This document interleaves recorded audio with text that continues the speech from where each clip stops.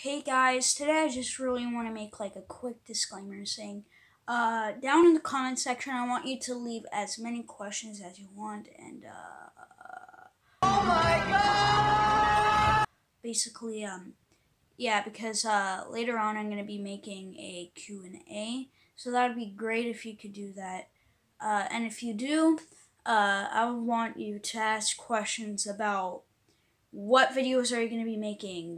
What do you like better? This and that. As many questions as you want down in the comment section, really, on any topic. And uh, yeah, that's what I wanted you guys to do. And uh, yeah, so.